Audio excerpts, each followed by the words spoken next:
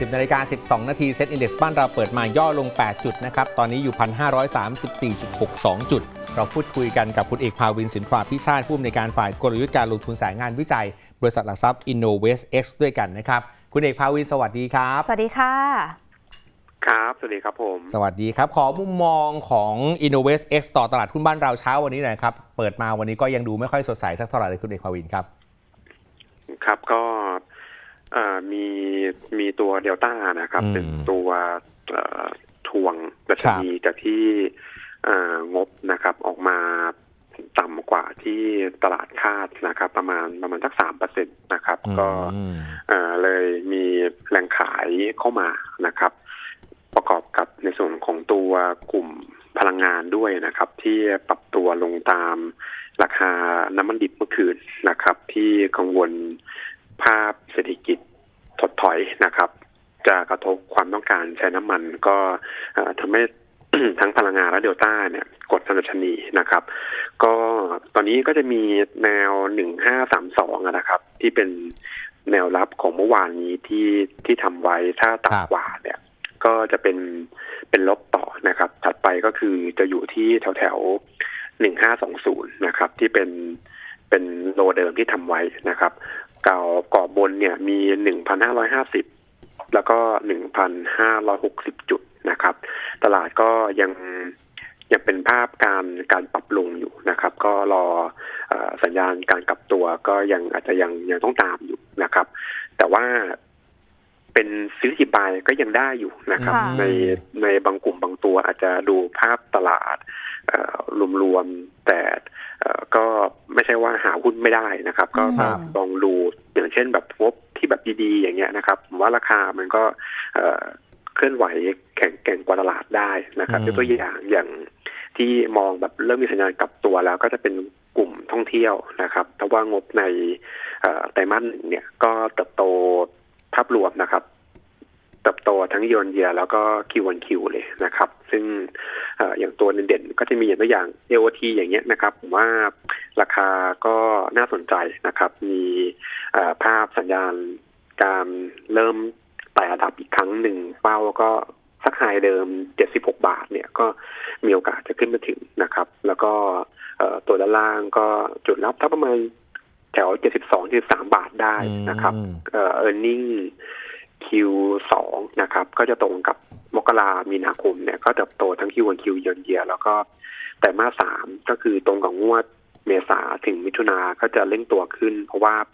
เอ่อหมดมาตรการช่วยเหลือผู้ประกอบการเชิงพาณิชย์ตั้งแต่หนึ่งเมษาที่ผ่านมาแล้วนะครับครับก็จะเป็นตัวเร่งผลตอบแทนให้ให้ปรับตัวดีขึ้นสำหรับภาพผลการดำเนินงานนะครับ หรือว่าอย่างโรงแรมเอ่อเอราวันเนี่ยก็ กำไรเติบโตเช่นเดียวกันนะครับ ทั้ง year on year Q on Q อัตราการเข้าพักก็ดีขึ้นตามลำดับอืมก็จะช่วยเอ่อปรับค่าห้องให้เพิ่มขึ้นด้วย แล้วก็ถ้าดูในภูมิภาคตัวแปซิฟิกนะครับอัตราค่าห้องเนี่ยยังยังต่ำกว่าโซนอื่นค่อนข้างเยอะก็ยังมี room ในการโตอีก จะช่วยดึง RevPAR ให้มันปรับตัวขึ้นได้ต่อนะครับ ก็เอ่อดูราคา โดนเทปโปรฟิตลงมาพอสมควรแล้วอืมก็เป็นโอกาสในในการซื้อได้นะแถวสักประมาณเนี่ยครับ4.8อืม4.7 ได้ด้านบนก็แถวสักประมาณไฮเดิมประมาณเอ่อ5.1 ถึง 5.20 บาท หรือว่าเอ่อถ้าอีกกลุ่มหนึ่งโรงพยาบาลนะครับเอ่อ BDMS ก็น่าสนใจ เพราะ BH งบออกมาก็ถือว่าดีกว่าคาดนะครับ ซึ่งก็ทำเอ่อมีลูกค้า คล้ายๆกันก็คือชาวต่างชาตินะครับ จะเป็นตัวหนุนภาพผลการทำงานให้เติบโตเอ่อได้ดีในปีเนี้ยนะครับครับราคากรอบล่าง 29 บาทต้นๆก็เป็นจุดในการรับได้นะครับ แล้วก็เอ่อตัวด้านบนเนี่ยนะครับ ก็จะมีสักแถวๆประมาณ 31 บาทถึงประมาณ 32 บาทนะครับอืมก็เอ่อสรุปตลาดก็ยังยังยังไม่ค่อยดีนักนะครับ แต่ถ้าเป็นลักษณะของการเลือกหุ้นเนี่ย ก็ยังพอ ที่จะสามารถหาผลตอบแทนได้นะครับครับลักษณะของการเสียทีบายในหุ้นที่เอ่อผลการทำงานยังเติบโตดีอยู่ครับผมค่ะคุณเอกพวินคะถามเพิ่มเติมในประเด็นของค่าไฟ ซึ่งมันก็เป็นต้นทุนของบรรดาผู้ประกอบการ แล้วก็บริษัทจดทะเบียนค่อนข้างเยอะ เพราะว่ามันปรับตัวเพิ่มขึ้นมาค่อนข้างเยอะ มันจะมีผลต่อทิศทางผลประกอบการอย่างเอาใกล้ๆเลยในไตรมาสสองนี้มากน้อยแค่ไหนประเมินไว้ยังไงบ้างคะกก็ก็กระทบระดับหนึ่งนะครับ แต่ว่าค่ะเอ่อเข้าใจว่าตลาดเนี่ยมีการเอ่อ ใส่ตัว factor เนี่ยนะครับเข้าไปในประมาณการเอ่อผลการดำเนินงานของบริษัทจดทะเบียนต่างๆแล้ว แล้วก็อืมเอ่อส่วนใหญ่เนี่ยก็มีการปรับตัวกันค่อนข้างเยอะโดยการติดโซลาร์เซลล์มาเกือบทุกบริษัทเลยนะแล้วผมแบบเอ่อถามเอ่อนักวิเคราะห์ที่ cover ตัวต่างๆ อยู่โดยเฉพาะกลุ่มที่แบบใช้ใช้ไฟเยอะอย่างเช่นแบบเอ่อห้างสรรพสินค้าเอ่อ โรงแรม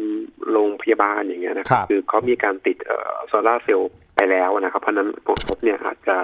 เอ่อค่อนข้างจำกัดกว่าทางครัวเรือนที่เราเห็นแบบตามโซเชียลมีเดียว่าโหไฟฟ้าปรับขึ้นเยอะจังอย่างเงี้ย แต่เอ่อ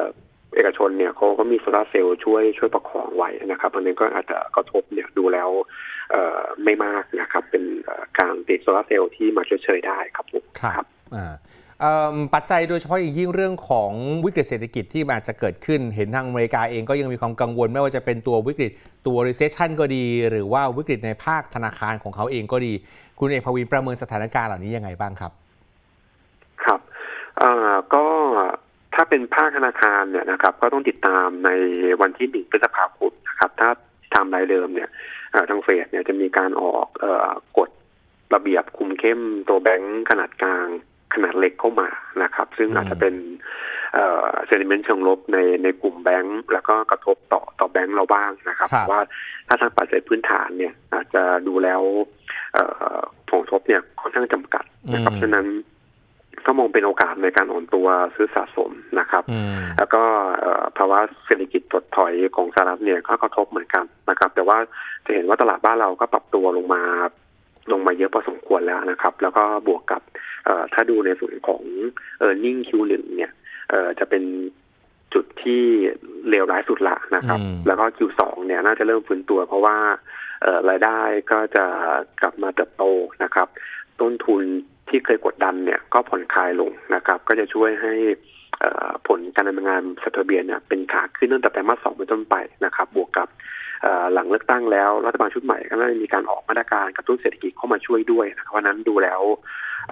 ผลกระทบเนี่ยทางด้านสหรัฐเนี่ยก็อาจจะเอ่อเป็นแค่ส่วนหนึ่ง แต่ว่าเอ่อเนื่องจากปัจจัยภายในของเราเนี่ยยังคงแข็งแกร่งนะครับนำภาพการเติบโตจากนี้ไปเนี่ยก็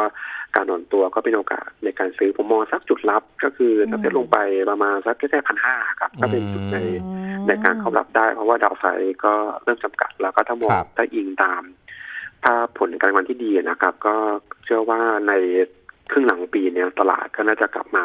เป็นภาพของการปรับตัวขึ้นได้แล้วก็เป้าครับประมาณพันเจ็ดเนี่ยอืมในปีเนี้ยก็ยังมีโอกาสที่จะปรับตัวขึ้นมาได้อยู่ครับผมครับโอเคค่ะ คุณเอกพาวินนี่ขอบคุณมาก ๆ เลยนะคะ ขอบคุณนะครับ ครับ สวัสดีครับผสมวัสดีครับสวัสดีค่ะ1,500จุดนะครับ เป็นจังหวะที่เป็นจุดที่น่าจะเข้าไปค่อยๆทยอยสะสมค่ะแล้วก็ยังมองว่า1,700จุดปีนี้ ยังมีโอกาสที่จะเห็นกันได้นะครับ วันนี้อาจจะดูไม่ค่อยสดใสมากนักบ้านเรา เช้าวันนี้ยังติดลบอยู่ประมาณเกือบเกือบ10จุดนะครับ หลักๆ แล้วมาจากเดลต้าที่ผมประกอบการออกมา ไม่ดีต่ำกว่าที่คาดไว้ก็เลยมีแรงเทขายออกมานะครับแล้วหุ้นในกลุ่มพลังงานเองก็ ดูแรงเทขายออกมาเหมือนกัน คุณเอกภาวินบอกว่า จริง ๆ ยังพอ selective buy ได้ วันนี้ให้มาทั้ง AOT เป้า 76 บาท แล้วราคาที่เป็นอยู่ตอนนี้ก็เป็นราคาที่สามารถเข้าไปรับได้เลยนะครับ หรือจะเป็นเอราวันเป้า 5 5 บาท 5 บาท 10 5 บาท 20 BDMs เองก็อยู่ในจุดที่ถือว่าน่าสนใจเพราะมีปัจจัยบวกเฉพาะตัวต่างชาติ เริ่มเข้ามามากขึ้นเรื่อยๆแล้วนะครับ ขอบคุณที่ติดตามรับชมรายการ TNN ชั่วโมงทำเงินนะครับ คุณผู้ชมอย่าลืมกด Subscribe กดติดตาม กดกระดิ่งเตือน กดไลค์ กดแชร์ ในทุกๆ ช่องทางออนไลน์ของ TNN 16 ด้วยนะครับ เพื่อจะได้ไม่พลาดทุกรายการสด และคลิปวิดีโอที่มีความน่าสนใจอีกมากมายครับ